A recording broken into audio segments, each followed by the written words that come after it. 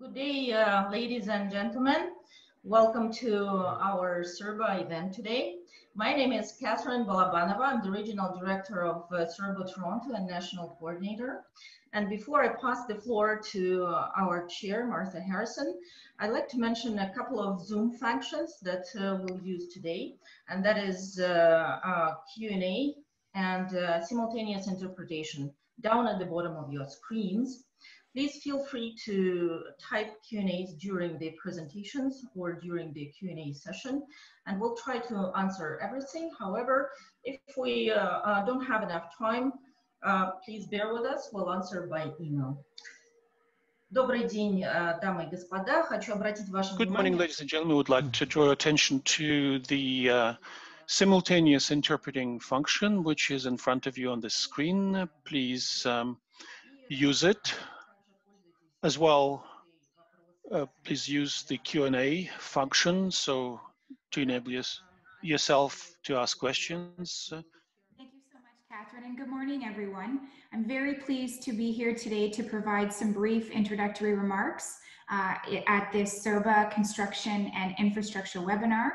As Katherine mentioned, my name is Martha Harrison. I am very pleased to be the chair of the board of the Toronto chapter of CERBA where I've been an active member for a number of years. And I am also a partner at the Canadian law firm McCarthy Tétrault in the International Trade and Investment Group. So welcome to the CERBA Eurasia Construction uh, and Infrastructure webinar. Uh, the goals of our event today uh, are generally to preserve and strengthen the existing ties between Canada and Eurasia and to establish new ones to the economic benefit of all trading countries in these regions in the sphere of construction and infrastructure. We know there is a lot of potential to strengthen these ties, and we're happy to provide opportunities like this one to share our thoughts on how we can do this. We would like to thank Global Affairs Canada for helping us develop the program uh, of today's event as well. Also in our thanks uh, is the Building Show, the Russian Embassy and Trade Mission, the Belarusian Chamber of Industry and Commerce, the Mongolian Construction Association, and all of those, uh, all of those organizations for working with us and really helping us to create and promote this event this year. Um, not surprisingly, like like many other events that are usually held in person, we are we are hosting live uh, on this webinar, and we very much appreciate the support of our partners in helping us put this together. We also appreciate the participation of our partners from the All Russian Non-Governmental Organization for Small and Medium Businesses, known as the uh, Opora Russia. The webinar today has been prepared in collaboration with all of the chapters of CERBA in Canada, Russia, and Kazakhstan. It's a real, true effort and a demonstration of how our regional organizations support one another in preparing and presenting what we consider to be value added material for our members. We also would like to thank all of the attendees and all of our members who continue to support the, the association in spite of these particularly challenging times. Before uh, we start, I would like to now invite uh, Valery Maximov, Senior Trade Commissioner of the Russian Federation in Canada, to say a few words of welcome as well. Thank you very much, Martha. Uh, good morning, good evening uh, to everyone. On behalf of the Russian Trade Mission to Canada, allow me to welcome all the participants. The coronavirus pandemic has made adjustments to holding international meetings, so we're starting this conference in online mode. Unfortunately, this is a new normal today. We feel lack of communication between us due to COVID restrictions, and I am grateful to the CERBA for the opportunity to discuss the current agenda online. Once the world returns to its former life, we will be happy to continue working with our partners in person. I think that uh, uh, international trade and cooperation development will play a significant role in recovering the, uh, the global economy. A few words about trade relations between Russia and Canada. Russian-Canadian trade turnover showed significant growth in 2019, increasing by more than 32% compared to 2018. The first half of this year was not such bright and optimistic though. Trade turnover compared to the same period in 2019 decreased by 34%. The COVID-19 pandemic will lead to the fact that by the end of 2020, our trade statistics will not be as good as wished, but this is a global observed trend. Uh, however, I should note that the recession is far from taking place across the entire product range. We see steady growth in a wide range Uh, of goods. I'm sure that the overall situation will come to normal after loosening global restrictions caused by the pandemic. We're continuing to working on different levels to promote bilateral trade and economic relations between our countries. Online roundtable of representatives of the Canadian business community with the Deputy Minister of Industry and Trade of the Russian Federation, Alexei Gruzdev, and the Canadian ambassador to the Russian Federation, Alison LeClaire, took place on November 10, 2020. Also, I have to mention online video conference between the Canadian Forest Service and the Russian Federal Forestry Agency on October 14, 2020. The agenda of the online video conference with Canadian Forest Service included different aspects of cooperation in, on multilateral and bilateral formats. Both sides agreed to work within the framework of multilateral formats, including United Nations Working Group of Specialists on Boreal Forest, as well as bilateral cooperation. We express our support for the initiative to renew cooperation with the Federal Forestry Agency and reaffirm our commitment to expanding collaboration uh, on sustainable forest management. In terms of business development, we are interested in collaboration with Canadian partners, for example, in wooden housing construction, exchanging advanced technologies and deepening industrial partnerships. Wooden housing market in Russia has excellent growth potential and we're actively promoting cooperation in this field. We have developed a program to support individual residential construction. The volume of its financing until 2024 is almost 1.8 billion US dollars. The wooden housing construction will be the program's primary focus. Canadian companies have what to offer on this matter, uh, matter for sure. And uh, in conclusion, I would like to take this opportunity to, to invite all of you in July 2020 to Yekaterinburg uh, to the largest international industrial exhibition Innoprom. Hopefully, we will finally meet in person and will be able to discuss the progress made since our meeting today. Thank you very much for your attention.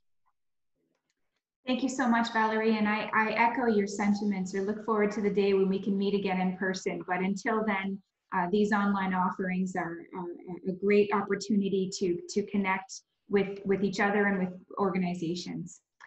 Uh, so now I'm also pleased to invite Nurgul uh, Makhambetova, the Trade Commissioner of Russia, Belarus, Moldova from Global Affairs Canada. Uh, yeah, I forgot to unmute myself. So um, good morning, everyone. Um, I am representing Global Affairs Canada, and as uh, Marta mentioned, I'm a Trade Commissioner for Russia, Moldova, and Belarus. I'm very happy to be here because on behalf of Global Affairs Canada, I would like to say that we truly believe that this webinar is actually uh, going to deepen our uh, ties between our two great nations, Russia and Canada. In fact, uh, based on that uh, recent recent call, which uh, Valeria actually mentioned um, uh, with uh, Rosleskhoz. I think it was it took place in uh, October, and I would like to highlight that um, we haven't met with Rosleskhoz since 2013. So I think it's a very very uh, big deal. And then uh, I'm very uh, pleased to see that we're meeting today as well. And then this webinar relates to uh, further our collaboration on forestry and um, yeah, and infrastructure.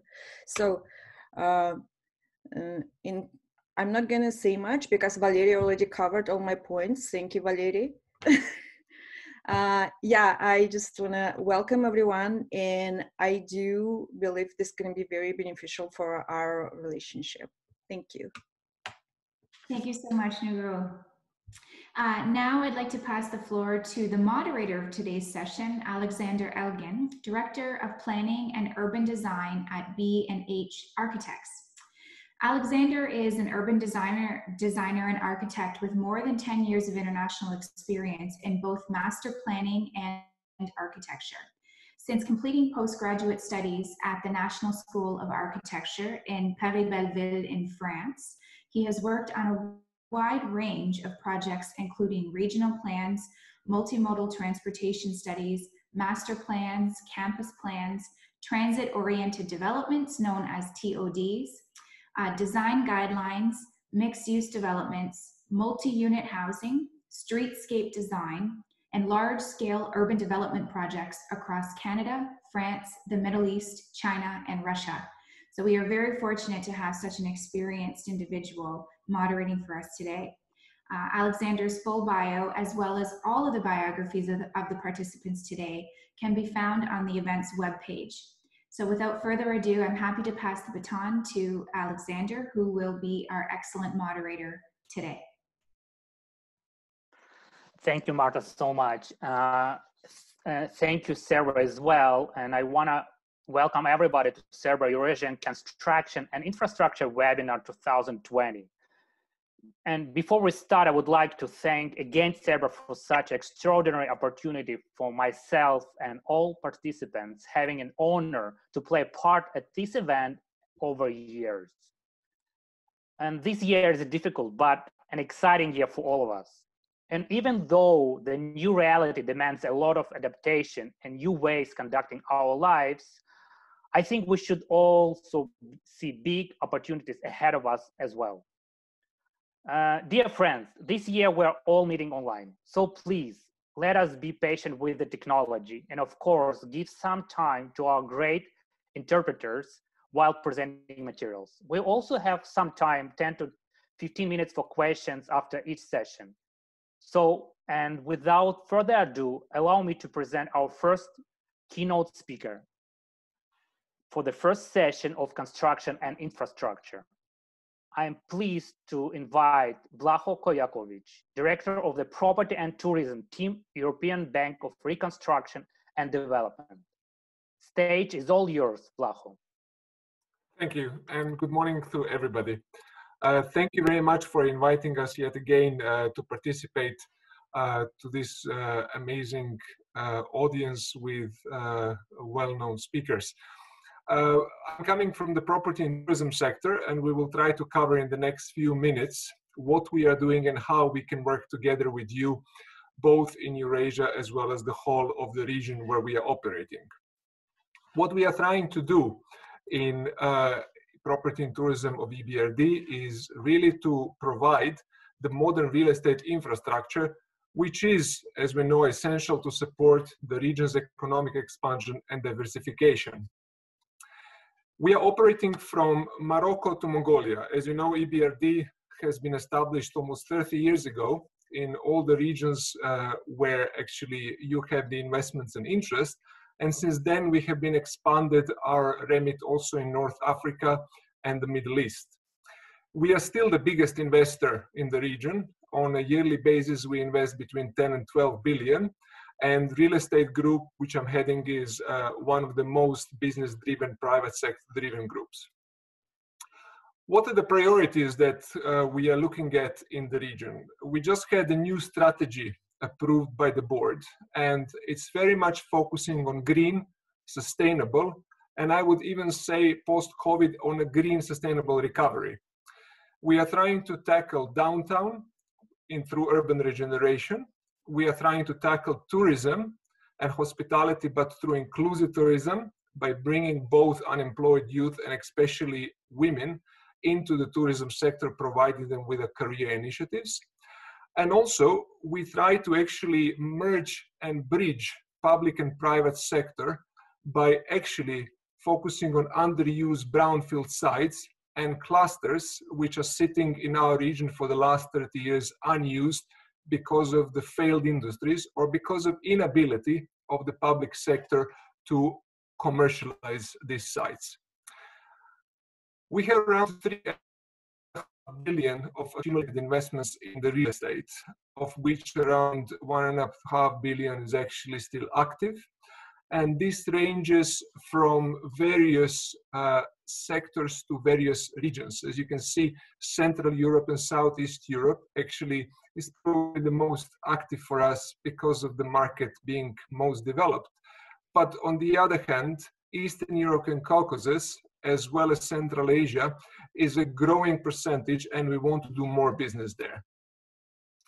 In terms of the portfolio, as I mentioned, we are really covering everything that you can imagine in a layered cake, starting from investment funds where we are acting as limited partners, going through retail and mixed use, hotels both in the city centers and as resorts, offices and warehousing, which in the last two or three months have actually become uh, the major driver of the economy. We all moved online and logistics is the most important driver for our goods to be delivered to the home. We also go into residential, especially with equity that we put to the residential partners. And sometimes we also do infrastructure projects such as marinas in countries which are actually benefiting from nautical tourism. How do we finance? As you can see from the slide here, I'm very happy to discuss particular cases. We are actually providing senior debt financing, usually in cooperation with other international or local banks. These are really guidelines. It all depends how strong is the sponsor but we are trying to go for relatively conservative financing, which goes up to eight to 10 years. We actually are providing between 40 and 60% debt if there is very clear idea of the business plan where the cash flow will be produced and there is debt capacity of the project. When it comes to the project company, we expect to receive cost overrun guarantees from sponsors. And also, we are actually looking at sustainability through the actual projects. So one of the things that we would look for is the greening of the buildings, would be the green leases, and would be inclusion, as I said, both during the construction and the operational part of the project. We're also providing equity, and we are actually one of the main equity partners to major companies operating in the region, not only through equity funds, but also directly through the company that actually we would be a smaller equity contributor, but an important one because we do bring a certain cloud when it comes to political security, but also a certain stamp of approval when it comes to due diligence where EBRD is comfortable to work with a sponsor and with a particular project. Our recent approaches actually are uh, really reflecting what we think is going to be the future of real estate post COVID. And this is a very strong partnership and relationship between private and public sector, something we will hear more about from the next speaker.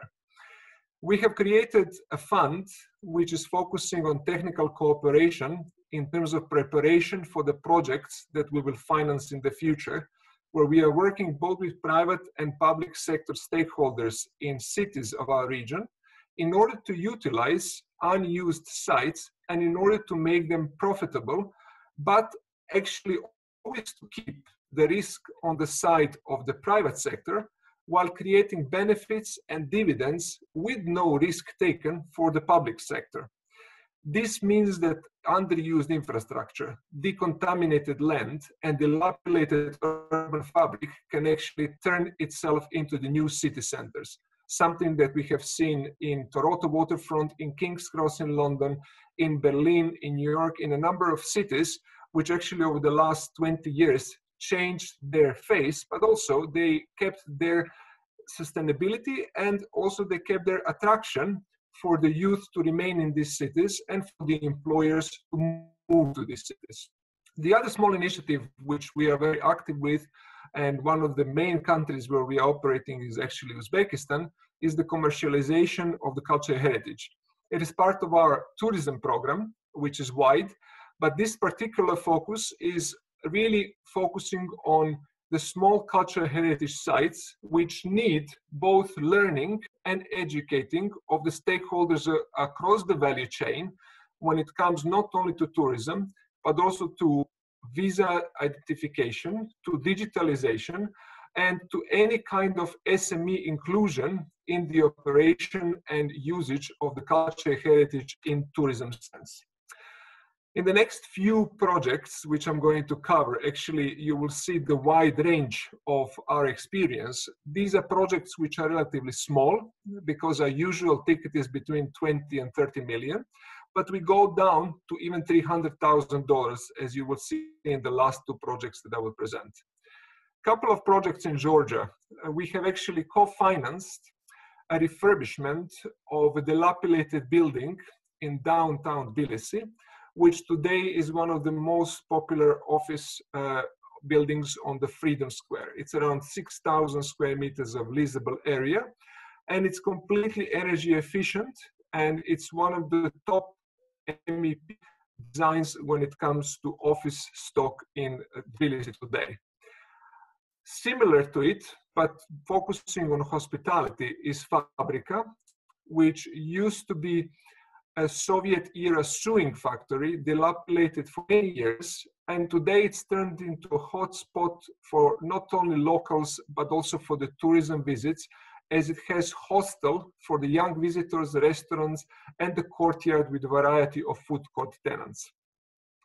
Moving to Ukraine, in Lviv, actually we have completely refurbished another dilapidated fabrica, I would say, which used to be a factory, a brick factory in the center of Jewish ghetto, again, not used for the last 40 years. And with Multi, which is one of the best developers and partners that we have uh, focused on urban regeneration, we actually created a spread out retail center with around 40,000 square meters, which even through the crisis of Ukrainian uh, Russian tensions, but also in this crisis has never actually uh, undergo any stress. So the, the, retail center is full and it just proves that when you are refurbishing the city centers, these are resilient sites regardless of the real estate site. These are a small couple of projects which I mentioned, and they are very interesting, and we are very proud of them actually because they are really cutting edge design and cutting edge ideas. Uh, this is glamorous glamping, as they call it these days, in Kyrgyzstan, in the Alay Valley. And it's a very popular destination both for local and international uh, walking tourism. And it's one of the beautiful sites where you can actually enjoy modern yet traditional architecture in the middle of beautiful mountain. Similar one is refurbishment of three hotels in Khiva in Uzbekistan, where we have spent almost 2 million euro investing in training through donor funding of all the stakeholders trying to regenerate Khiva as the destination, which is building on its cultural heritage history but also which actually is bringing up to speed, becoming an interesting destination and approachable destination for the world tourism. So this is all from me. Uh, I'm going to share my contacts and the presentation, which is going to be shared later on. I'm very happy to answer any of the questions that you might have. Thank you so much, Vlaho. I think it's amazing seeing that uh, even though we're all sitting in our homes right now and thinking about the difficulties of the future and the impact of pandemic, I still think through your presentation, we might understand that the future is already here and the organization you're presenting is having the cutting edge understanding of the tendencies and also mark, market uh, possibilities for all of us and the perspective how we can actually look to our nearest and further future regarding also the change of the global arena and the climate adaptation of our current situation as well. Thank you so much. Uh, I would like now uh, present our next uh, keynote speaker, uh, Shlemenkov Evgeny, a chairman of the board, Interregional Union of Building Enterprises of Small and Medium Entrepreneurship, Opora Russia. As well, he's a general director of Techno Eco Project. Please meet uh, Evgeny. Здравствуйте, уважаемые коллеги. Э, я бы хотел поделиться новостями, которые происходит в строительной отрасли Российской Федерации. Во-первых, я хотел бы похвалить э, наше Министерство строительства. Uh, hello, my dear colleagues. I'd like to share with you uh, the most recent news of the construction industry, housing, and infrastructure development in the Russian Federation.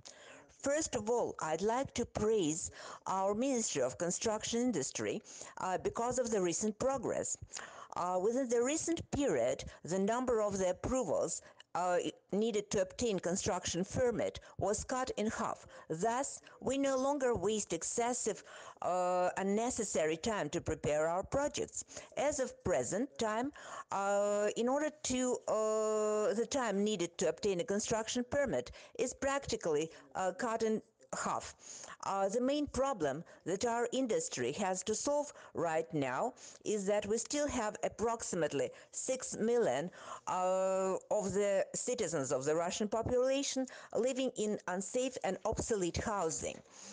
Uh, and that's the problem that we're trying to solve within the framework of our national development programs.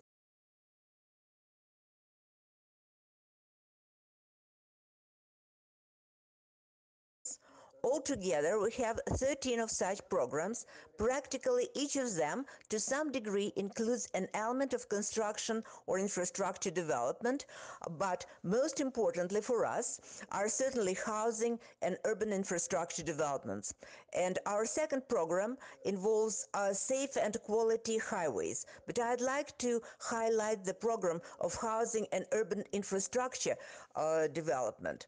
Uh, sure, uh, we understand perfectly well that it's impossible to solve the problem of uh, unsafe and obsolete housing by a pointed method. Method. In order to solve these problems, uh, we have created two major institutes in our country: uh, the National Housing Corporation, so-called DOM RF, uh, that's conducting housing renovation, and the second institute is uh, implementing the program of housing infrastructure that's responsible for relocating those living in the obsolete and unsafe housing.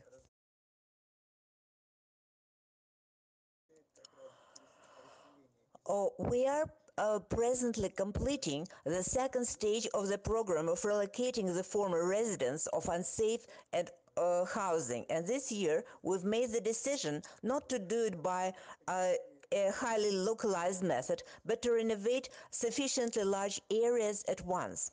Uh, what are the advantages? First of all, we not only build a new modern housing, we're in fact completely changing all engineering infrastructure. We renew the social structure, we provide complete landscaping, and apart from that, uh, we always take into account uh, the future long-term growth growth of a certain region or settlement because uh, yes it's important to provide new housing but it's and good uh, living conditions but it's just as well uh, to have employment opportunities there Uh, and such programs are presently working practically in all major cities of the Russian Federation. Uh, naturally, it's quite difficult to solve uh, such programs without support from the government, from the state. So there are certain banks uh, that are involved in financing the process of uh, design and uh, further stages uh, of these projects. And naturally, we're also involving economic mechanisms such as market mechanism that allows us to pay for a part of the renovation work by selling a part of the new uh, newly built housing. At present, we are building approximately 80 million square meters of housing per uh, annually. Uh, it is noteworthy that this year, in spite of the pandemic, we will also demonstrate growth. But in order to achieve a modern level of housing availability for the population, we've got to achieve something like 120 million of square feet uh, or square meters uh, built annually. I've got to mention that approximately 65 or 70% uh, of the new housing are high-rise buildings and all the rest are uh, private homes, family houses, or individual construction. When it comes to private housing developments, we are also having positive dynamics because a larger part of the problems uh, of resettlement and renovation in rural areas and in minor townships has to be solved primarily uh, with family homes and low-rise housing. So the local systems uh, are developing for power supply, for sewage, and for water supply, and all of that permits us to create more than just new housing, but a whole new urban infrastructure. Uh, I've got to tell you uh, that uh, such pilot projects were successfully uh, implemented in Moscow and Kazakhstan in a number of regions in Russia, and presently they are being extended to all of the territory of the Russian Federation. Naturally, the pandemic had in some way uh, influenced our life and it changed it not uh, to the better. Though in some aspects it was probably to the better. At least we started using more of modern telecommunication technologies and our conference uh, webinar is an obvious proof of that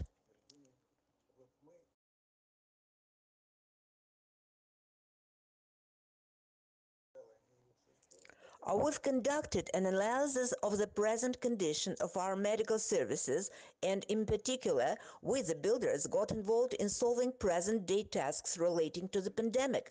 Thus on the 8th of 9th of November we've opened a new facility here in Moscow uh, that manufactures coronavirus testing systems. By the end of the year, uh, is going to reach the capacity of 1.5 million units per month. And probably this pandemic permitted us to evaluate our readiness, uh, including the readiness of the construction branch of the industry to solve the problems under such uh, stressful conditions. And so far, we're coping well. In conclusion, I'd like to mention the following. As a general rule, in order to promote international relations, Russia uh, is uh, usually organizing regular business missions, and presently we are preparing a business mission to Canada, uh, circumstances permitting.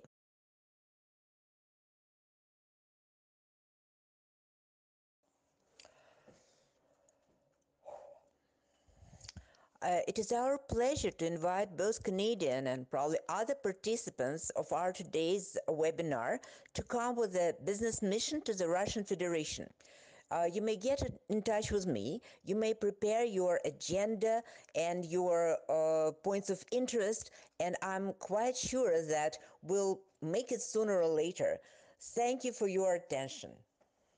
Thank you so much, Evgeny, for your amazingly uh, informative speech. And I want to thank you as well because uh, from my personal experience working back to Moscow and Russia, I see that uh, our understanding and my understanding back to 2012, 2010, as a perspective of high vision ideas and understanding that changes can be done first only on the high level, on the level of the government, are now on the full speed understanding and getting into the small scales as well. Thank you so much for your presentation and I hope we can collaborate in the future as well. Thank you so much.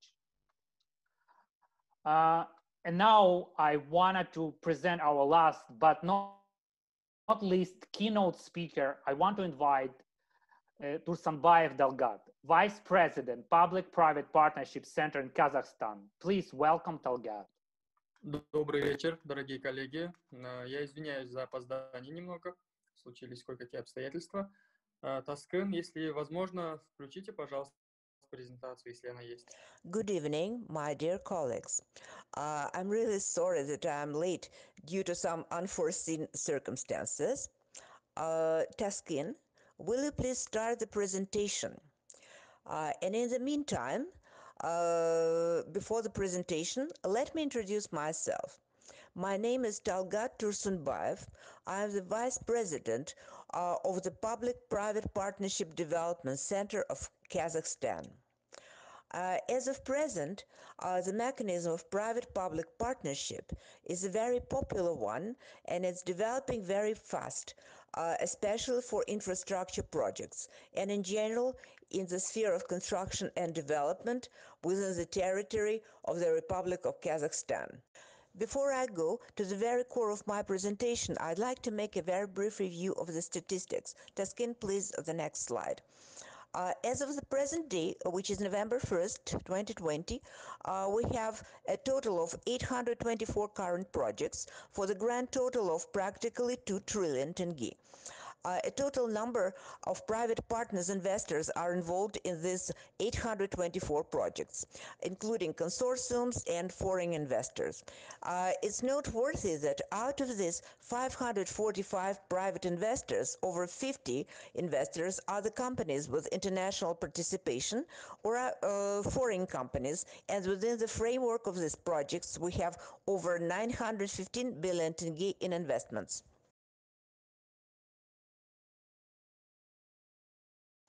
The next slide, please. We have taken certain measures uh, in order to protect the investors and to get the investors interested in the mechanism of private-public partnerships. Uh, to make that mechanism popular as a whole, as it is a relatively new one, because the whole bulk of such projects have been implemented only after 2015, while the law on PPPs was put in place. Before that, starting 90s, we had uh, the law on concessions, and not too many uh, projects have been implemented under that particular law. So as of today, uh, in order to attract the investors and to protect them from factors, uh, including the consequences of the COVID-19 pandemic, uh, there is a legislation in place that is actively practiced and uh, proved to be viable on the mechanisms like protection of PPP budgetary funds from sequestration, meaning that we will understand that there exist such facts as reviewing of the expenditures. Uh, let's say uh, if the investor uh, invests in a certain project and uh, it takes uh, from five to seven or 15 years to get the return, uh, there is a risk that the government can review such expenditures in the future. However, there is no such risk in Kazakhstan at present based on the existing budgetary code, which is the principal regulatory document uh, on finances in the Republic of Kazakhstan. The second mechanism involves an early termination fee. We are presently encountering uh, numerous projects influenced in some way by the pandemic when such private-public uh, partnership agreements are being dissolved, in, including uh, under force majeure or act of God clause, the state is fulfilling all of its obligations, compensating to the private partners all of their investments uh, for such premature dissolution, including the lost profit. Uh, so far, it's working well, and we've proved it to ourselves, and we've made the mechanism more streamlined uh, streamline. Within the framework of investor protection, there is now a guarantee uh, also of consumption for certain types of services.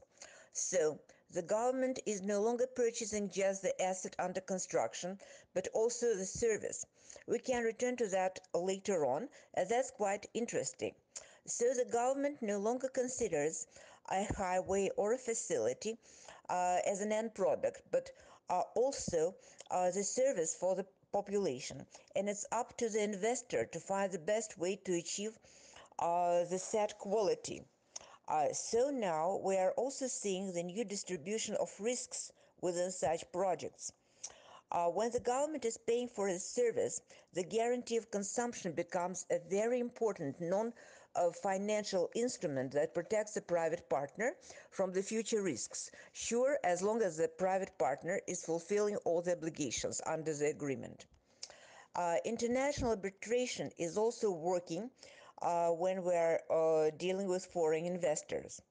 Uh, we've now got uh, International Financial Center of Astana, where we register all of our foreign partners. Uh, so all potential disputes from now on may also be resolved based on the international law. Next slide, please.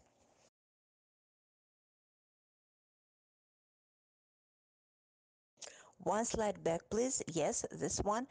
And as a main method of returning the money within private-public partnership projects, by the way, during the recent legal forums within the territory of Kazakhstan, uh, the legal experts have noted that such agreements are the most reliable ones that fully protect the investors. Thus, one of the main types of payments by the state from budgetary funds is the compensation of the investor's expenses paid after the onset of operational use uh, within, uh, let's say, starting five years. And we always return up to 100% of investors' expenses. And by the way, they're always mirrored uh, by the loan repayment schedule. Uh, we may also include a creditor as a private partner. Uh, and also as a part of an agreement, we may include currency mechanisms taking into account that the national currency uh, of Kazakhstan is somewhat volatile. So we may include currency mechanism for regulating the currency risks. Uh, we are also compensating operational expenses such as maintenance expenses for these facilities, etc. And certainly, the amounts of such uh, payments are uh, considered in every detail at the stage of project planning. As it's possible to uh, provide paid services as well to the partners uh, and uh, there are certain fees collected from the population etc uh, so such payments are final point of any economical model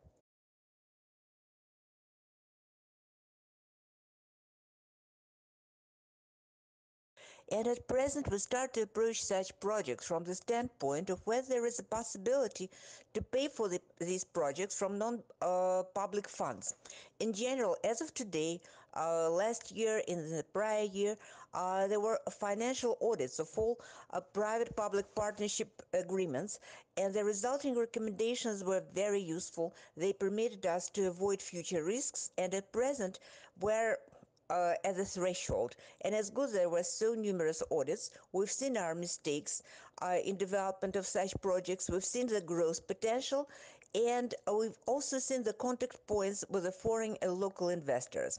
As of today, the most important direction that the state is developing uh, is the direction of non-financial types of support of the investors, such as uh, grants of land plots, uh, to investors or property management rights for up to 30 years and other far more complex methods.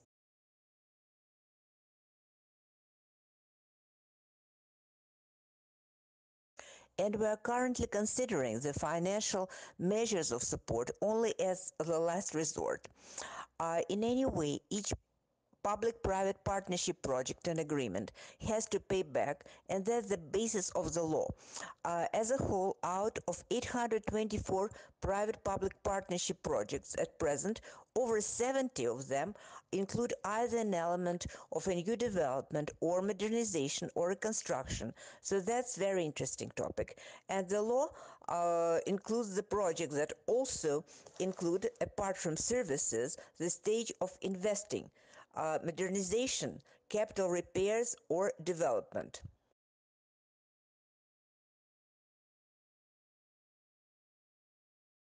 I would like to mention that whenever we have interested parties, there is always a possibility to find the points of mutual interest, to discuss the problems in Kazakhstan uh, and the experience of the foreign investors, and to start planning one or multiple projects. And there's also a pipeline of the existing public-private partnership projects based on the problems that have to be solved uh, using this particular mechanism. And that also may be discussed. Uh, and that's all that I wanted to tell you. And thank you very much for your attention. Great presentation. And, and before uh, we, we want to chat a little bit about the results of KCBC Construction Infrastructure Working Group that was uh, conducted on the 17th of November. I want to thank you again, Talgat, for your, sorry, I didn't put a video on. thank you uh, for your presentation. And just mention you that P3 projects are actually the, the main project now in overall Canadian market. And I just let you know that uh, the major problem now, and maybe this will be part of our discussion during the question period, that we are trying now to jump into the small size of project as well with the same structures, not only as Vlaho has mentioned, project as Waterfront Toronto or Crossing King in uh, UK, but also small size project. And the major uh, question now, how also not protecting only financing, but also performer and innovation component for the future project as well, which actually really tied it up to the financial uh, uh, part of it as well. So that's for the next uh, discussion. And now I want to invite um, uh, Galimanjan Mataev to introduce the results of uh, the KCBC Construction Infrastructure Working Group session. Uh, please uh, invite, uh, please welcome uh, Galimanjan. Uh, thank you, Alex. hello, everybody. my name is Galymzhan Matayev. I'm representative of national company Kazakh Invest in the US and Canada. And uh, as uh, as Alex explained, I'm uh, uh recently uh, was uh, was honored as a co-chair of the Kazakhstan Canada Business Council and co-chair of the working group for for the construction and infrastructure. And just recently, about 10 days ago, we we did uh, very lot, uh, a lot of job concerning uh, a lot of discussions, and we did it on the, our working group and on the plenary session of CERBA. And just I'm not I'm not a planned speaker today, and thank you for this opportunity to share just some results of our, working group. And uh, we uh, we see uh, our working group together with our colleagues from government bodies, from the Canadian, Canadian side and Kazakhstan side, we see opportunities, uh, great opportunities in this sector. Uh, first of all, it's definitely technology transfer. And uh, it means uh, that Kazakhstan can enhance awareness of Canada's wood-based building technology and using support of relevant codes and technical requirements for Kazakhstan and then implementation uh, of engineering expertise required for safe and sustainable application of wood construction at residential, social, or and infrastructural projects. Other ones, uh, it's definitely modern urban environment and affordable living, collaboration on uh, implementation of best practices, uh, Canadian best practices for planning, design, construction, and management of affordable residential housing, implementation of energy efficient approaches in municipal construction and management of municipal infrastructure, ensuring cost and energy efficiency.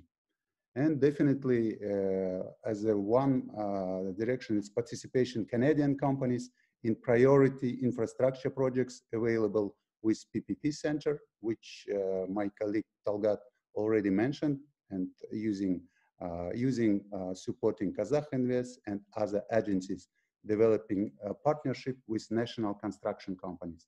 And uh, like uh, last one, but it's not uh, less important, uh, definitely professional knowledge exchange between Canadian and Kazakhstan companies and governmental organization and agencies.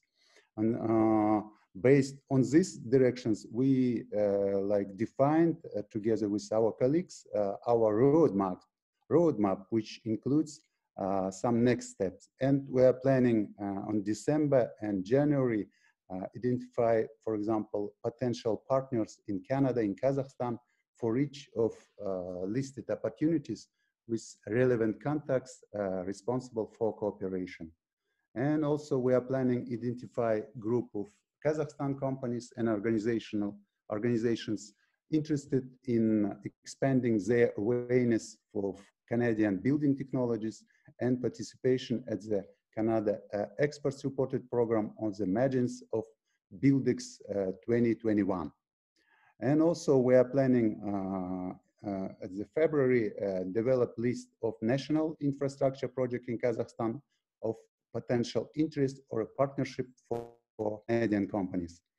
Uh, definitely, we are planning uh, initial, uh, initiate exchange uh, for interregional cooperation, uh, for example, between the province of British Columbia, and Akimat of Almaty, with mutually agreed uh, with mutually agreed plan of activities focused on promotion of healthy healthy urban environment and smart cities concept.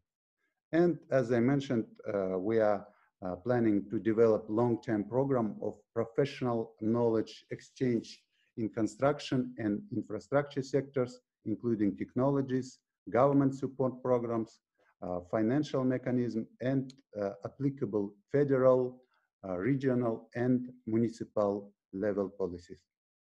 Thank you for your attention. If you have some questions, I will be happy to answer for that.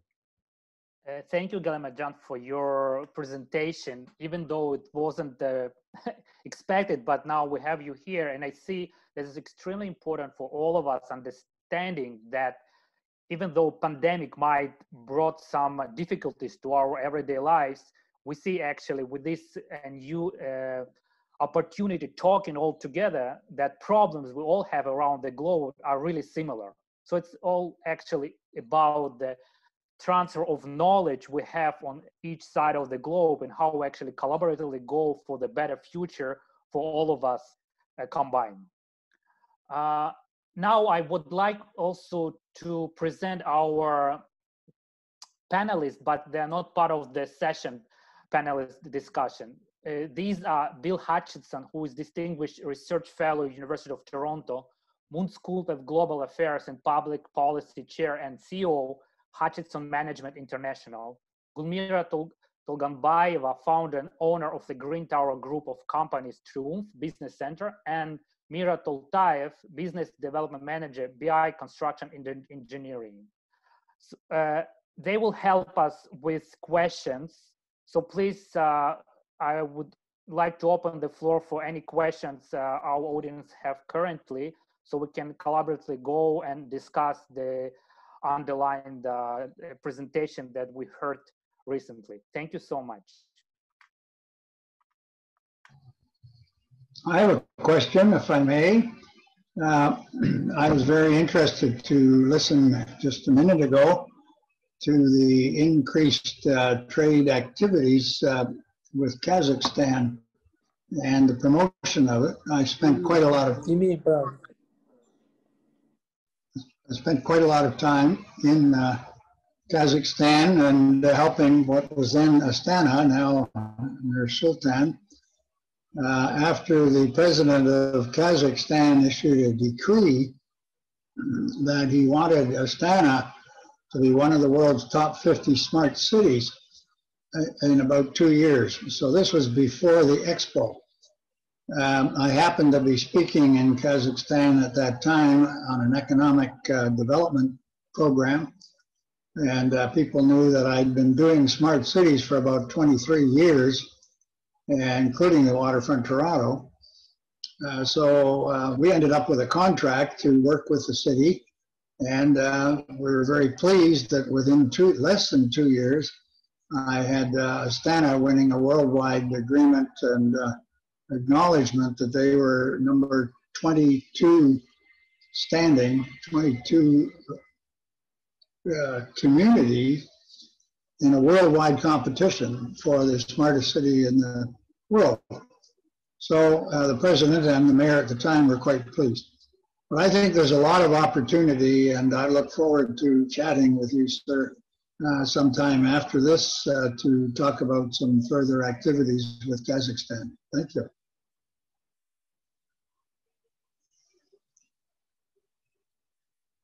Thank you, Bill, for this uh, direction of potential question. And I think your perspective is really important to see that Kazakhstan now on the world stage is really important player. So please, is there any other question we have around the uh, audience?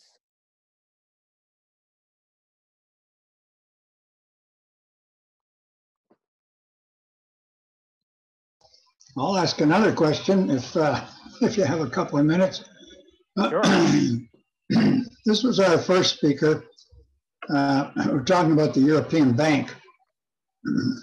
I think everybody knows that there's going to be uh, post COVID 19, there's going to be a lot of changes.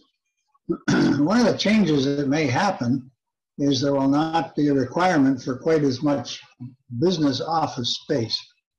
Uh, certainly, this is true in Toronto.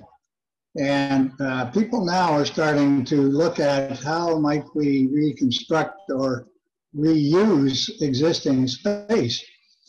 Uh, one challenge in Toronto um, is the issue of uh, low cost or social housing. We're very, very short of that. And people are already looking to see if there's some way that perhaps some of our business office buildings could be restructured for social housing. I'm just wondering from our existing open speakers, in particular the European Bank, if you've seen any likely shifts in your market uh, to deal more with social housing. Uh, I didn't hear any projects on that one. And uh, any uh, restructuring or reuse of some of your existing space, perhaps in the big cities, as a result of um, COVID 19 and when it disappears, hopefully. So that's my question. Thank you, Bill. Um, what we are seeing actually is everybody is trying to guess at the moment. So nobody is really sure where this pandemic is going and when is it going to end. Um, right. With the vaccine being rolled out, everybody hopes that this is going to be the end of it. But then we see that the second wave is rolling into the third wave towards Christmas and New Year. And all our clients and actually partners with whom we also have a number of office buildings under construction are actually actively redesigning. And this is probably the first response that we see on the market. Redesigning in a sense that they are putting all the meeting rooms at the bottom of the buildings in order not to come to mixing with the permanent employees. In a sense, separating the elevators, if that is still possible under construction, and the next thing which you mentioned is turning some of the buildings which were supposed to be office buildings into residential. Because the feeling is that the rollover of tenants in all the major cities is going to be less than expected because of the efficiency of working from home. So there are two ways that we experience this uh, change. One is that some actually developers starting to combine office with residential in the same building in a way actually answering to this need of having more space but not working from home yet working in a comfortable environment which doesn't include traveling. And the other way actually or the other uh, phenomenon that we are trying to understand is a little bit we just actually had it in uh, uh, in the papers in lisbon. Lisbon decided to buy 5,000 apartments uh, from the individual renters and actually turn them into social housing because it seems that cities like Lisbon are looking at the changes also in the Airbnb culture. So office developers, to me, it seems are they are going and they will be approaching the cities and the public municipalities, trying to make the deal at least for the long let if not the sale. So your assumption, I think, is very much um, spot on. Uh, thank you, Vlaho, and of course, Bill, for your question. And I guess to summarize, the major point is actually we understand really clear that flexibility is a major point right now. And the, to go for the future, we have to be as flexible as possible. Uh, now I want to uh, change the gear and uh, start our next session, which will be dedicated to forest and wood manufacturing. So uh, let's move on. And our next speaker will be Erol Karacabeyli, who is the principal scientist at PF, uh, FPI Innovation. So uh, let's uh, invite Erol to our floor and uh, please welcome. Thank you, Alex.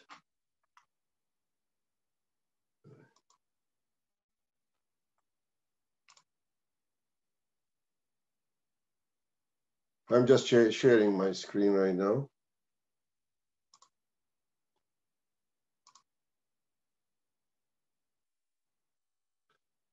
Okay. Can you see my screen, Alex? Yes, we can see. It's perfect. Thank okay. you. Okay. Okay. Thank you very much. Uh, I will talk about, now we are getting into the technical side, I guess. I will talk about the renaissance of wood construction is underway in a number of countries that I will show you. And uh, I think uh, listening to the other speakers, uh, I guess many countries can benefit from the developments uh, of uh, wood construction in Canada. And this work is part of a larger project that I'm presenting you. It's, it's, it's uh, entitled Expanding Wood Use Towards 2025. And that is supported by our stakeholders listed here. First, I start with why Renaissance? Why am I using this, uh, the term? And uh, over a century ago, at the end of 19th century, the beginning of 20th century, there were quite a bit uh, heavy timber, we call them brick and timber buildings. You can see here the building, uh, these buildings are uh, outside is masonry, but inside is all heavy timber. And that was the norm at the beginning of 20th century. This building is in Vancouver, British Columbia, it's nine stories and it's 115 years old. It's interesting, the discussion was taking place. This building was actually originally wasn't an office building, but now it is converted to an office building. And high-tech companies, they like to lease these buildings nowadays. But what happened in the 20th century, by the half mid 20th century, concrete buildings took over and uh, basically this market. I will come to the other wood, uh, wood systems which are uh, keeping themselves uh, in the market. So with the advent of engineered wood products and systems and connections and the push for sustainable construction solutions, cities, mass timber is having a comeback in the 21st century. And this is the story that I will share with you today. Wood construction has very good attributes, and I'm not going to dwell on many of them here, but I give you an example of the naturally resistant earth against earthquake attribute. It's a very light material, with respect to other materials such as concrete and masonry. And it is able to ride the earthquakes quite well, which is well documented. So any country having an earthquake zone, wood construction is perfect solution for it. I will come back to that a bit later on. Now, what's going, where the wood-based systems are gaining more traction and Canada is one of the leading countries. And it's happening in basically Canada, US, many European countries, and Japan. Now, moving on to the systems. I will present you two systems. One is light wood frame, and the other one is mass timber, or we used to call it heavy timber, bigger, bigger uh, sections. Lightwood is something like system is called two inch by four inch or five centimeter by 10 centimeter sections, smaller dimension lumber. And as you can see, in this case, uh, two workers are able to carry, lift a wall. That's the reason and usually in a house construction, it doesn't require a crane to build the building. And this is lending itself extremely well to prefabrication, in, in particularly in Europe. And uh, there's lots of companies are able to ship these prefabricated walls into the job site. Now, the, the thing is, most single family housing in Canada and the US and Scandinavia is light wood frame construction. When I say most, it's about 90%. So millions of buildings, houses are being built with this system. And then uh, this is actually going back quite a bit. What happened in the last decade or so in Canada, we were building these buildings up to four stories, housing, single family housing and apartment buildings up to three, four stories. Until the last decade, now this, there, there was a, a building code change in 2015. And then now Canada is able to go to five and six stories. And within five years after the building code change, I can report to you that there are over 500 buildings in Canada built, five and six story buildings built. And this is a remarkable thing. These are not demonstration buildings. It's simply, it's, we have the infrastructure for light frame buildings in Canada where we have the design capacity. Actually, some of our designers are designing buildings elsewhere outside Canada because we have this capacity. We have the manufacturing capacity. And then, of course, the sustainable forestry, which is a must to be able to move on, move on to uh, basically wood construction in anywhere. Now I'm moving on to mass timber, which is actually very exciting development happening worldwide. And by mass timber, we, we, are, uh, we mean larger sections, bigger members, usually uh, glued together. Into, and I'm, I have a little, and there is a race going on in the world. And there is an example here in Finland. It, it was an eight-story building. And then actually there was a nine-story building I'm missing here in London, which was built in 2009. And London has quite a few buildings, by the way. And then this is Melbourne, 10-story building. And then in Norwegian bridge designers, they designed some very interesting buildings with braces outside the building. You can see the braces here. And that is basically the lateral system. And this building is 14 story in Norway. In Canada in 2017, this is a 18 story uh, student residence at University of British Columbia. The first story is concrete and 17 story of mass timber and it has two concrete cores in it. We call it a hybrid building in that sense. This is, uh, uh, again, 18 story, very high building in Norway. It does have some concrete floors towards the top. And finally, this is a building in Vienna, Austria, a 24 story whole building and they are, most of them are using different systems, and that's the reason there is a race going on. But it's a very exciting development.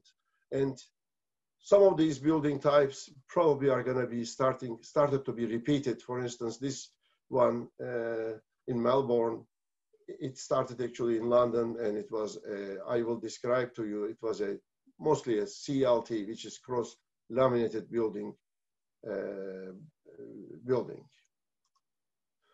Now, one of the obstacles that you may have is the regulatory acceptance. Uh, most codes allow acceptable solutions and alternate solutions. You know, you can do an alternate solution as long as you convince the authority having jurisdiction.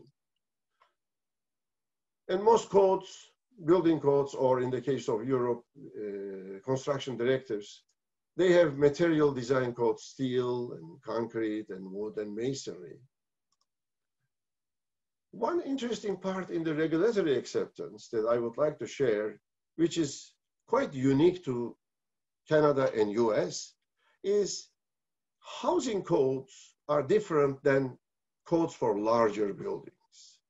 The housing codes and small building codes, for instance, they are more recipe based based and they don't necessarily require a, a, huge design team.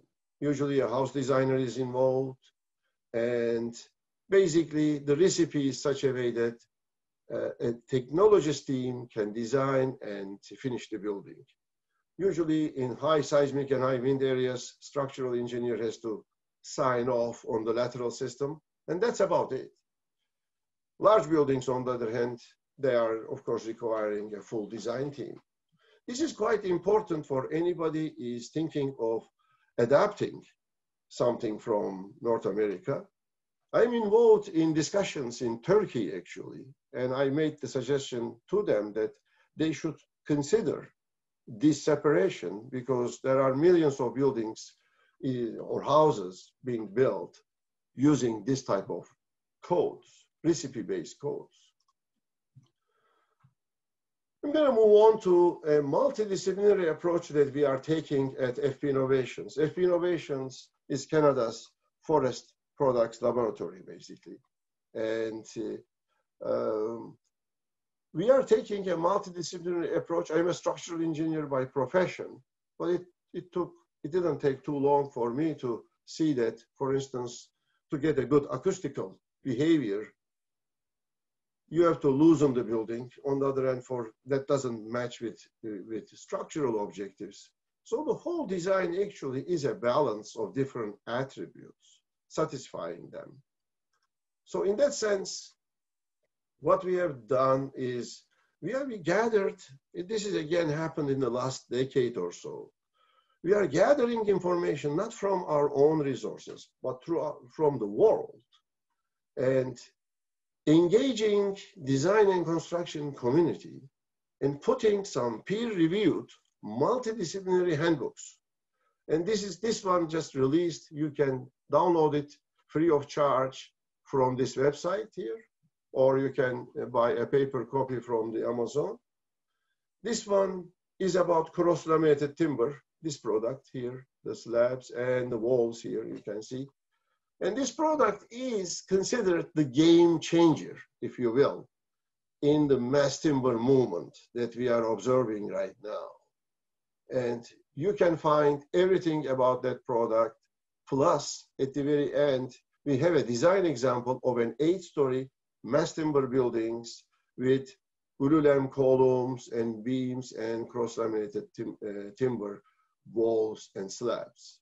I highly recommend anybody is interested in mass timber. It is a good publication to take a look. We do have other publications, by the way. I'm to just wrap up with saying that 21st century is experiencing a renaissance in the mass timber construction. And what you have right now is wealth of engineered wood products, which goes to both light frame and mass timber buildings. And actually those two, two systems are getting merged a bit. For instance, we are seeing some uh, elevator shafts, stairwells from cross-laminated timber in light frame buildings, and advanced technologies, both, for instance, building information modeling, as well as uh, prefabrication and design hardware. They are all available. And there are numerous hybrid possibilities with mixing the wood, concrete, and steel.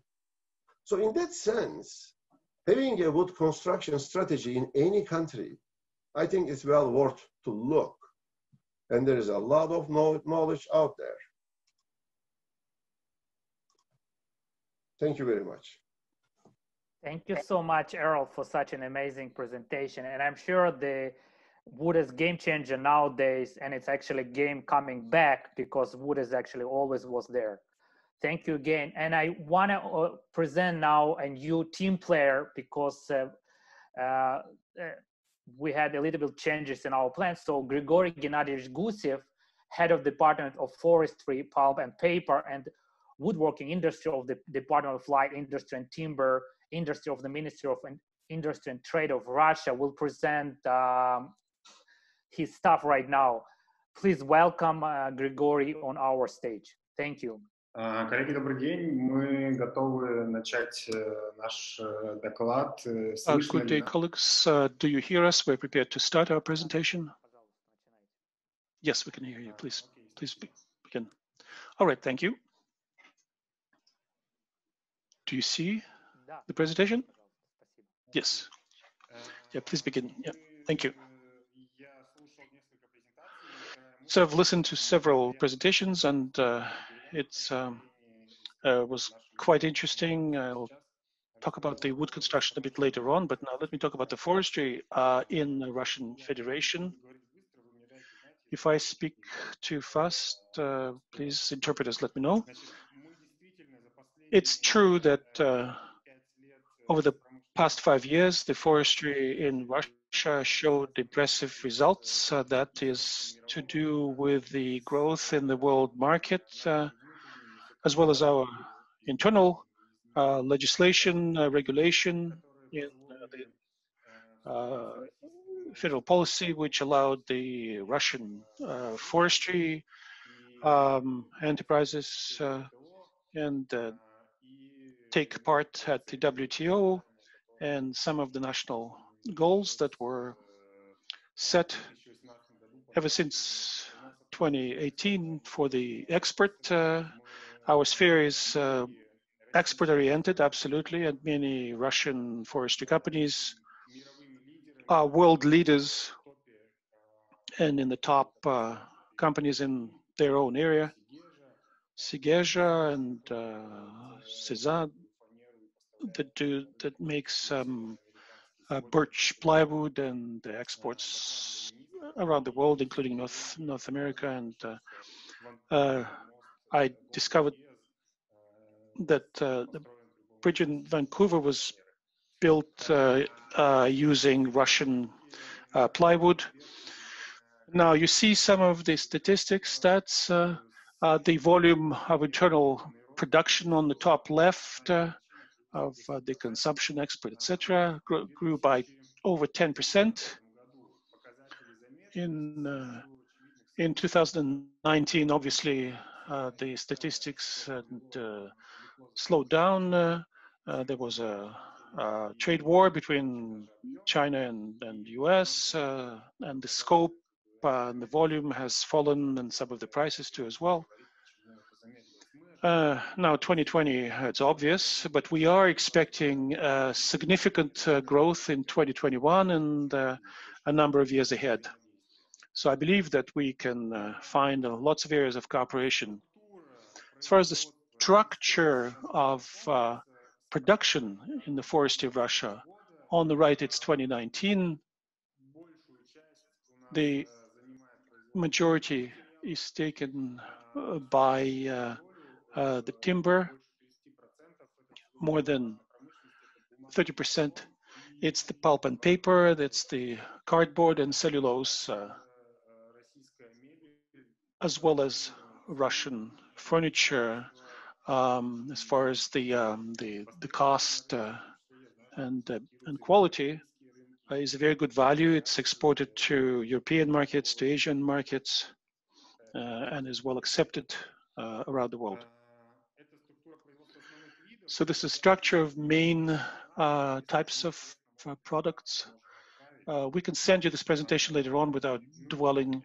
As far as the expert, uh, um, the structure of export of main products uh, of uh, forestry products and timber in Russia, mostly it's it's the furniture, it's the plywood, and every year production and export of uh, uh, pellets, um, fuel pellets, uh, grew by more than 10%. Uh, we can see up to 15% uh, the export has grown of this particular product around the world. And our colleagues, I believe, in North America um, pin great hopes for this particular segment of the market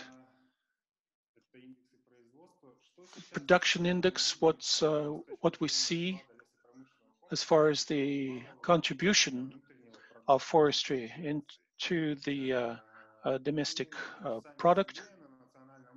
At the national level, we set the goal that this contribution of the forestry has to be no less than 1% by 2030, 30, but uh, we are actually going ahead of ourselves and our plans. Uh, and um, um, we are going to uh, reach that goal much faster. And uh, in, compared to Canada, I believe it's a several percent um, in Canada, the forestry uh, and the gross domestic product. But uh, this is a goal we set for ourselves. Uh, we enjoy a number of uh, um, supporting regulations and credits, uh, discounted credits for new investment projects, and we even have uh, support for construction of wooden buildings. we have subsidized part uh, of the credit, uh, part of the interest for a um, wooden building that's been uh, prefabricated uh, completely at, at, a factory um, because obviously they're uh, projects, uh, private projects when when people are buying, you know, they uh, involve their friends to, to build individual houses, but we are trying to do this on a sort of larger industrial scale. And this is uh, a map of investment projects in the Russian Federation over the past uh, 10 years. And uh, every month, uh, there are regions, certain regions, um, we see opening new enterprises and 155 enterprises over the past 10 years, and this number is keeps growing. These are key parameters in Russia. There is uh, in Russia there's a national strategic document um, by the decree of uh, the Russian government. It uh, says the strategy of uh, development of forestry uh, by 2030, adopted in uh, 2018 and at the end of uh, 2020, we already see need to introduce certain corrections, and I think it's a correct position. It's the right position because any strategy sometimes is subject to, uh, depending on various uh, uh, uh various uh, changes happening in the world, we needs to be corrected. The basic parameters are the same the goal is to add, uh, increase added value in forestry, increase the um, um, employment, uh, and I talked about the percentage in the gross domestic product, and uh, um, increase the taxes that are contributed to the um, uh, uh, federal budget uh, from the enterprises in the forest industry. And that's about it. Uh, thank you very much. Now, as far as the um, timber wood construction, I'm sorry. We have one more speaker, and if we'll have time for questions, we will stay, and eventually we can uh, use your knowledge to also to comment because next speaker is actually Yuri Kulikov, who is a structural and project engineer at Fast + Epp from Vancouver, and he will be actually talking about the interpretation and using of uh, wood structure in the in the building uh, sense. So I think it's worth listening to him first, and we'll see. We'll have time to comment. If not, we will continue afterwards online with all our comments and questions later on. Thank you, and uh, let's stay in touch. Thank you.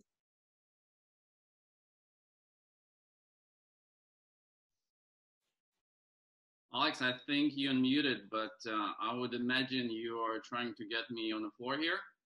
Yeah, exactly. Thank you for for your time and waiting for for your uh, turn. So yeah, so Yuri Kulikov is a structural, as I have mentioned, and project engineer at Fast + Epp. He's from Vancouver, and we'll talk about his experience as engineer with the wood structure uh, projects. Uh, so please meet Yuri and let's listen what he has to say.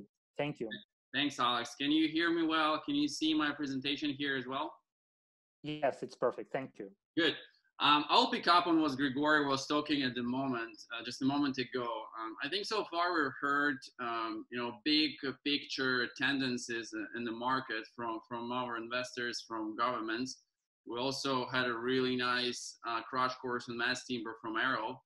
And what I'll try to do here is to build a bridge between um, sustainable cities and wood construction.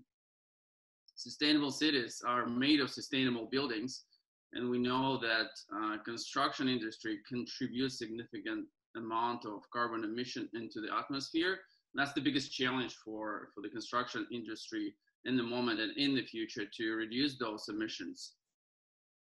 Uh, today, we, for the most part, we live in the economy of um, carbon emission, but it's changing and it's not going to be a future. And very soon, all of us, in some way or another, will be paying for each kilogram of carbon that we use. And perhaps the, the most direct way that we are aware of it at the moment is carbon taxation, which means for construction industry, for developers, for investors, it's not the matter of doing the right thing, but it's the matter will become and is becoming a matter of profitability. So where does carbon, how carbon relates to buildings? And it's good to uh, identify two different types of carbon. The first uh, that we call embodied carbon is the energy and the um, carbon emission that go for fabrication, transportation, and construction industry. So let's call it construction. The second part of carbon that relates to building is operational carbon. That's energy related to operating building throughout its uh, lifespan. As of today, buildings or operational carbon contribute 28% of the global carbon emissions, where embodied carbon, which we call construction industry, contributes 11%. So two notes to take here. Firstly, the 40% of all global carbon emissions are associated with building. So we really have an opportunity and we will have to make a change uh, in the world by making our buildings way more carbon efficient. Second thing to note here is at the moment, uh, operational carbon is about two and a half times uh, bigger than carbon that goes into the construction. But over the next 30 years, it's going to change. Their embodied carbon or energy that goes into construction will become equal to the energy that we've been using operating the buildings. The main reason for that is over the 10, last, let's say 20 years, the issue of operational carbon was very well identified and we see huge growth of energy efficient building throughout the world. It's becoming a norm. However, by doing that, we totally ignore or underestimate the amount of carbon that goes into the construction, to the material, into the processes. And this is something that industry has realized only a few years ago. And this is a big push and the big change that we're all we're going to see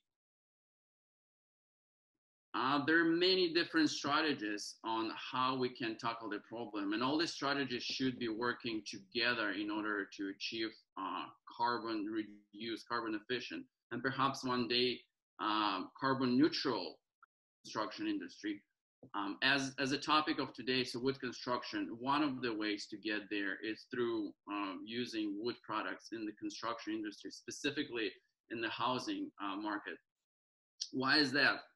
Uh, the bigger thing about wood, it's a renewable material, which means we can recreate this material significantly faster than any other building material known as.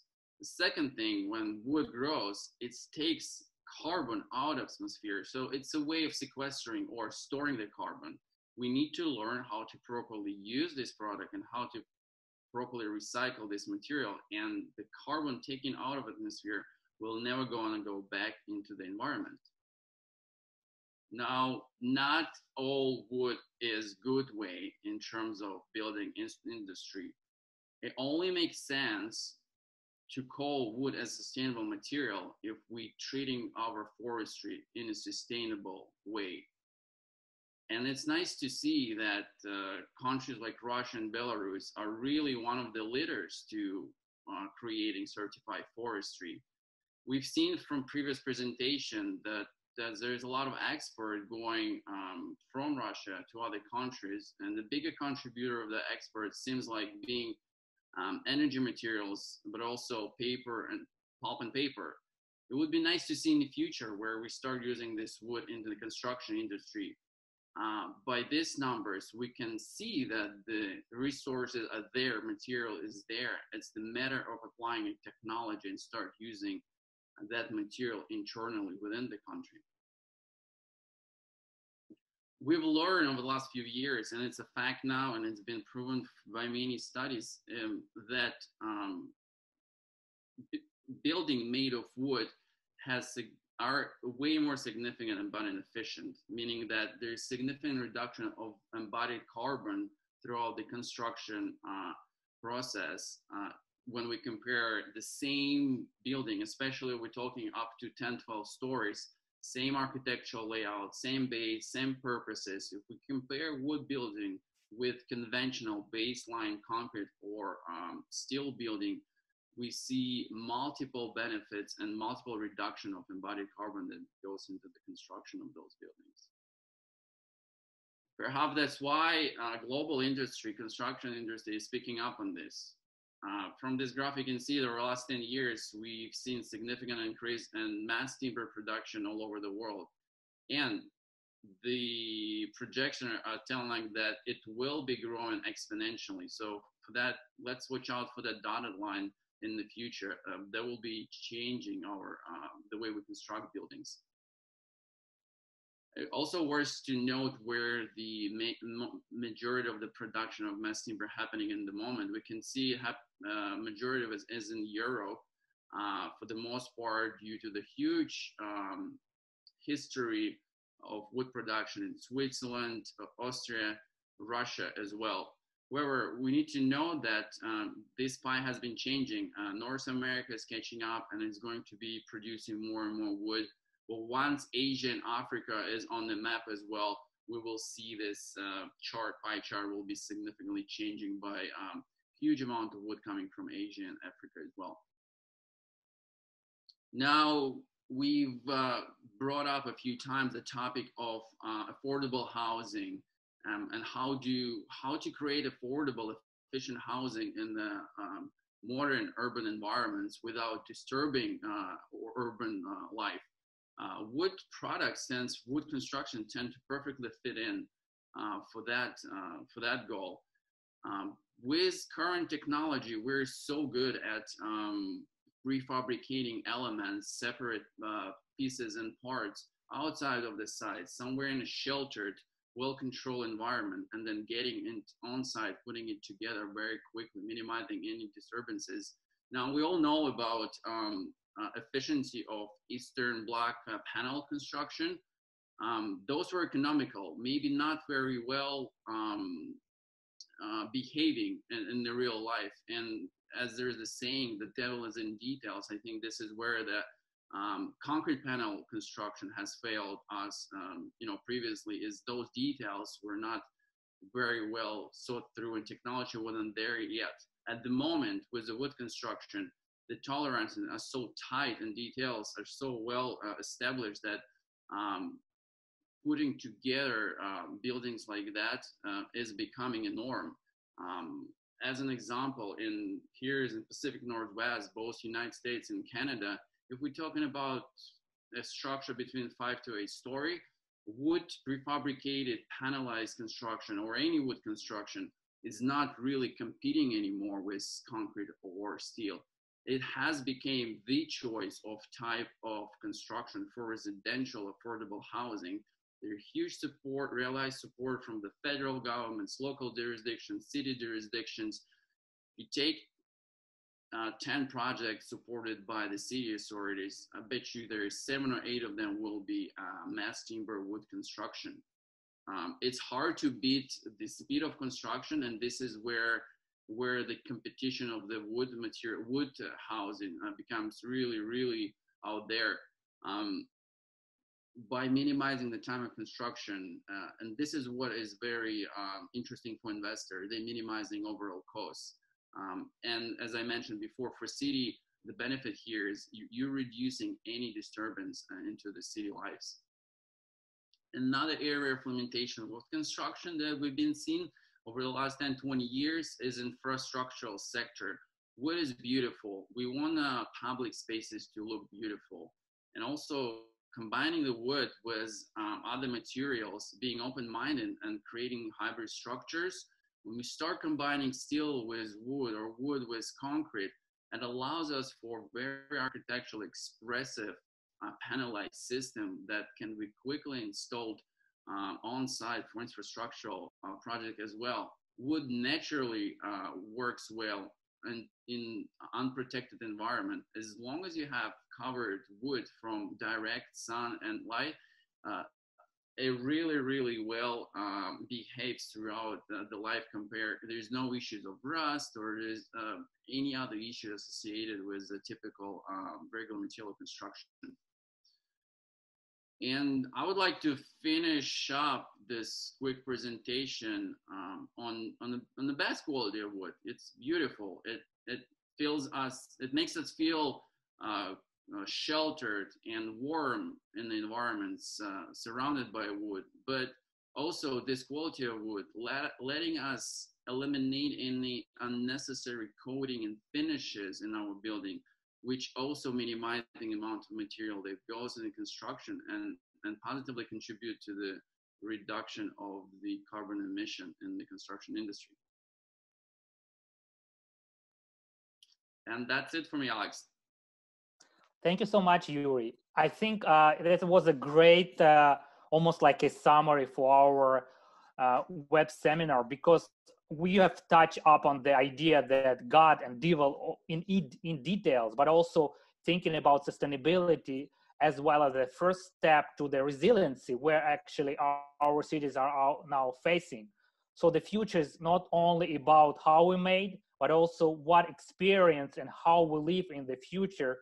And thinking about the pandemic eventually is crushing our current lives, but a new approach, a new reality give us a lot of new tools that can help us rebuild and rethink about the ways how we build, how we live, and how we think about our collaboration, but also the quality of our life and the globe and the planet as well as whole. Uh, so to thank you, Yuri, for your amazing presentation, but also I want to thank everybody, all the attend attendees and speakers for such an informative forum. And unfortunately, we do not have much time for questions, so I would uh, uh, ask if you have any questions, any suggestions to submit directly to CERBA so our discussion can go on.